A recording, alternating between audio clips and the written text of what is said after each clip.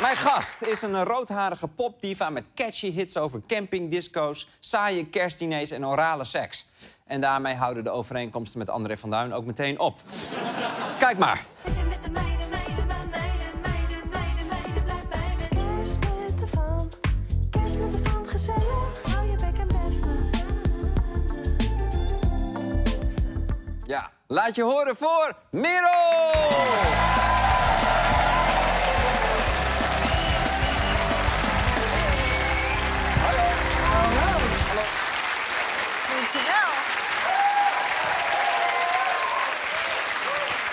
Ja. Oeh. Dat,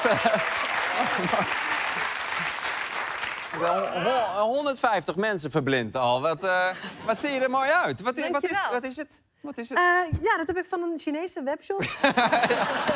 Ja, dat dacht ik al. Ja, nee, dat kan me niet voorstellen. Maar wat een mooi glitterpak. Ik vind, ja, Dankjewel. sorry, ik zit helemaal naar je te kijken. Maar dat, eh, is dat de hoort. bedoeling. We moeten even praten. Ja, Klinkt goed. heel Sven Kokkelman voor mij nu, maar eh, we moeten het even ergens over hebben. Want een paar jaar geleden Mhm. zitten wij samen in de finale van de Slimste Mens België. Ja, dat is, hebben we een foto van om te bewijzen dat mensen niet denken dat we onzin praten. Kijk, wij, daar zitten wij. Daar zitten we. Ja, die man rechts, eh, Geert Meijfreud, die heeft uiteindelijk gewonnen. En jij kijkt hier nog wel heel zelfverzekerd. Ja, iets was- te zelfverzekerd. Het was voordat ik jou naar huis heb Ja, gespeeld. precies. Ja, oké, dat wilde ik niet per se. Ah, ja, Eh, een applaus van één iemand. Dat is. eh,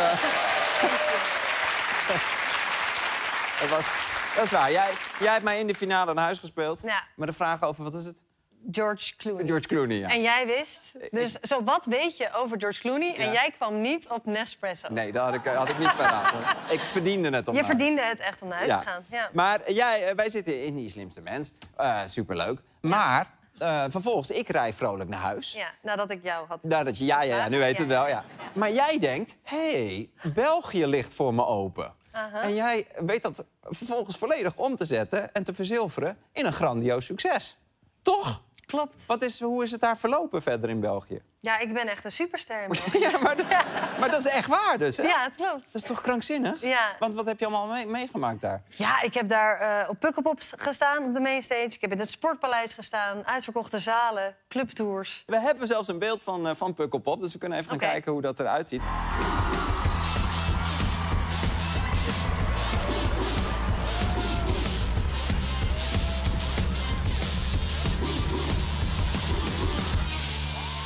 Ja, dat is toch geweldig?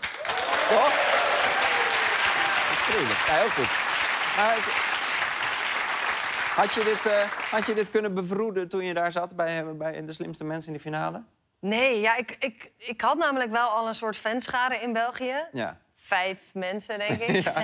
En door de slimste mensen is dat wel echt ontploft. En is die, die vonk gewoon overgeslagen. Wat leuk. Het is gewoon een match. België loves me, I love België. Ja? We zijn gewoon dit. Jij en eh, Samson en Gert vind je allemaal eh, geweldig. Ja, Nee, niet? wat, heb je met, wat heb je met Samson en Gert? nou, ik, op, Samson en ik zijn echt dikke. Ja, ja. Nee, Gert zat wel eens in die jury van de slimste mens. Ja, dat is waar. En ik weet nog wel dat hij echt... één aflevering had hij het echt op mij gemunt. Hm. Eh, toen heeft hij al mijn liedteksten enorm zitten afkraken. Vond hij allemaal te, te plat en te simpel. En ik dacht alleen maar zo... Gert, jij bent het brein achter K3. oh ja, Lele. Hey ja, mama die. Ja. Ja, ik dat heb trouwens wel deze week een liedje gepitcht voor K3. Dus Oh, dit is denk ik heel handig. Ik denk niet dat hij dat eh, nu nog gaat accepteren. Oh, Als je kijkt, I love you, Ja. Gert. Eh, even je nieuwe plaat, daar, daar ben je natuurlijk ook voor een beetje. We hebben eh, hem hier op vinyl. Eh, dit is hem. Eh, het is, eh, moeten, moeten we er iets van... Zullen we een stukje luisteren? Moeten we iets weten? Wat wil je erover kwijt? Leuk, ja, laten we wat Oké, luisteren. we, we gaan liever luisteren naar een van jouw favoriete liedjes, geloof Ja, ik. ik, ik heb jou een stukje gestuurd van Ja. Slettenperi. Wat? Van wat? Dat is een afko. Slettenperi. Is dat een afko, ja? Ik ben zo oud. Oké, eh, ik doe een stukje aan. Slettenperi. Aha.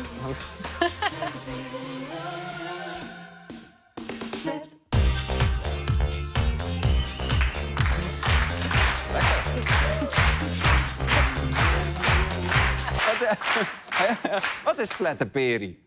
Sletty. Sle, sletty. Sle- sle- Sletty? Ja. Nee, slettenperi is ja, een afkorting voor slettenperiode. Ah. En dat is een, een periode die ik in mijn leven nooit heb gehad. Het is een groot gemis.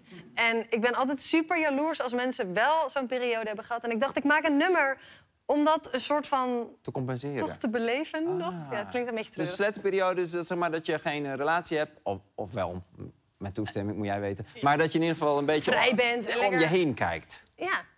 Ja, ja. En jij, hebt dat nog nooit gehad? Nee, ja, ik zat gewoon altijd in relaties. Oh, wat Ja. saai eigenlijk. Ja, echt wel saai. Nou, ik heb misschien wel Ja. één Oh, oh, oh, ja, ja, ja, ja. Ik leg even die plaat weg. Ja, ja, ja. soort een kleine, echt een mini slettenperi gehad. Die een nacht duurde. En één nacht, ja. En wat gebeurde er? Ja, nou ja, toen had ik wel verkering. Ja. eh, met iemand en hij, hij woonde in een huis met huisgenoten. En eh, op een nacht bleef ik slapen, want ja, dat doe je dan af en toe. En eh, volgens mij had ik wel eh, één drankje gedronken of zo. Ehm, en s'nachts ging ik toen eh, plassen, Ja? naakt, want ik sliep naakt. En Ja. nadat ik was wezen plassen, ben ik toen niet bij hem teruggekropen in bed... maar ben ik de trap opgelopen en ben ik bij zijn huisgenoot in bed gaan liggen. Ja, Dus het is eigenlijk zo'n onbewuste slettenperi. Ja. En wat zei, wat zei die huisgenoot? Wat zei die? Ja, die werd wakker. Ja, dat dacht En die zag mij naakt in bed liggen en die zei... Merel, jeetje. eh, en hij was echt heel lief. Maar hij zei, ja, volgens mij ben je verkeerd. Dus ik ben uit dat bed geklommen, naakt die trap weer af. Eh, en toen ben ik bij zijn andere huisgenoot in bed. Oh, Wauw. Dat klinkt wel als een slettenperi. Kortstondige. Je plaat komt vrijdag uit. Het is best wel een, een stevige. Het is een beetje een feestplaat, toch? Ja, het was is dat een, eh, was dat het partyplaat. idee? Wat voor soort... Je wilde echt een partyplaat maken? Partyplaat. Partyplaat, ja. Ik probeer de interviewer te spelen. Een partyplaat. Een partyplaat? Ja, ja. Ehm, ja, klopt. Ja, ik schreef hem vorig jaar na de festivalzomer. En die festivalzomer zat gewoon nog in mijn lijf. Oh ja. Ik had gewoon op allemaal vette festivals gestaan. Op Lowlands ook, wat gewoon echt een droom was die uitkwam. Ja. Dat was gewoon echt fantastisch. Ja. Maar het heeft ook wel een B-kant, ehm, naast dus die partykant... waarin we ook weer terugfietsen als de, de zon opkomt... en we terugkijken op de nacht en op onszelf.